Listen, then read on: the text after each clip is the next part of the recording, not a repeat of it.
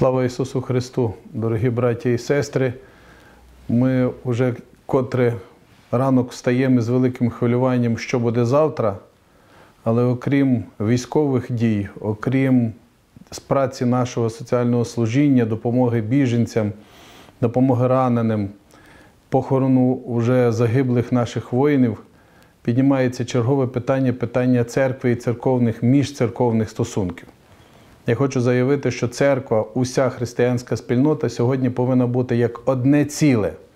Ми не повинні розділятися на конфесії, на групи, на церкви. У нас, у нас спільний ворог це Росія і їхні воїни, які тут е, захоплюють наші території, і нищать наші дома, вбивають наших рідних і близьких. Я, я вітаю заяву священнослужителів, е, архіреїв е, Волинської області, Московського патріархату, які е, зробили заяву про те, що вони не поминають за богослужінням патріарха Московського Кирила. Це добрий і правильний перший крок.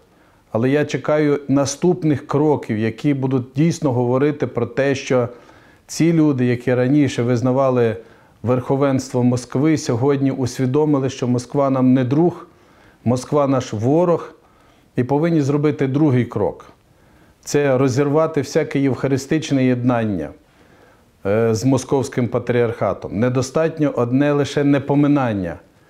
Вони повинні змінити усі статутні правила, про які вони говорять, що е, Українська православна церква є в єдності з московським патріархатом. Якщо всі ці кроки не будуть зроблені в найближчий час, це буде виглядати, всі останні заяви будуть виглядати як щось несерйозне, половинчасте або лицемірне. Я бажаю, щоб ми сьогодні воістину зрозуміли, Україна це моя батьківщина, Україна це моя земля, Україна це наша земля, на якій ми повинні бути одним єдиним цілим. Одне стадо, один пастир, одна держава і одна наша українська правда. Я бажаю, щоб сьогодні зробити конкретний крок. Чекаю на ці на такі кроки і закликаю вас, високопреосвященні владики, священнослужителі і миряни, тому що, на жаль, допомога із сторони священнослужителів чи мирян Московського патріархату на багатьох блокпостах сприймається як провокація, сприймається як щось недобре і з недовірою огляда- оглядується на тих людей, які із щирою серцем хочуть допомогти. Я вірю, що багато щирих, свідомих мирян, священнослужителів, які сьогодні ще чи були, чи ще знаходяться в московському патріархаті, воістину хочуть допомогти перемоги української армії.